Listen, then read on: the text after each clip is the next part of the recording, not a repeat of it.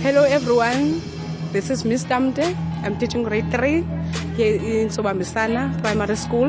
Eh, namhlanje besivizithelwe zii-visitors zethu from uh, Ukuphumelela Trust bebezofundisa abantwana bethu how to skip a rope. It, it was fun, enjoying and yenza abantwana babe fresh.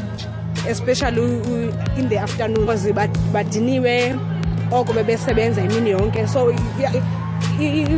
into ezifana nezo zimnandi so that abantwana bazokwazi into yoba ayoncwadi qha and sivile phaa ukhona ubhuti oke wavisa overseas ngenkiprophi zinto ezimnandi sisayivele ingase babe abagqibisanga bazi so that abantwana bethu mose ezi zinto ezinjena ziye sicinga uba ziinto zasebelungwini but siyavuya nalapha kwi-black townships zibe khona into so that abantwana bethu bazokhula ikhula ingqondo yazi into endiyithandayo mhlawumbi noba ngangena ngondititsha eklasini iimpendulo zasifumane because ane because ingqondo zaba zirefreshekile ndiyavuya kakhulu ndiyabulela kuphumelela trust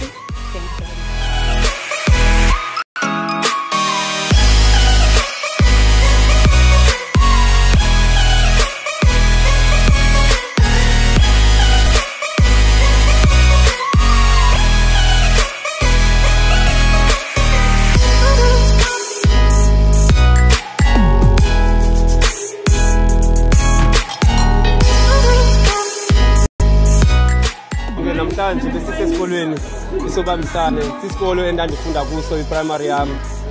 Ndiyavuya ukuba lapha kwesi sikolo kuba ndikhule ndilapha kwesi sikolo, iRobi ndiyiqale ndilapha kwesi sikolo.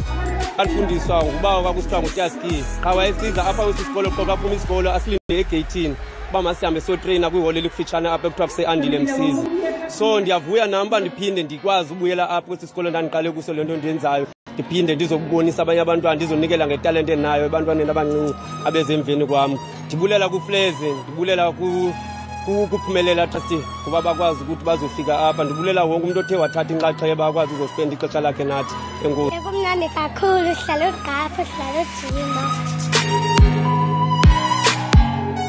siyabulela kakhulu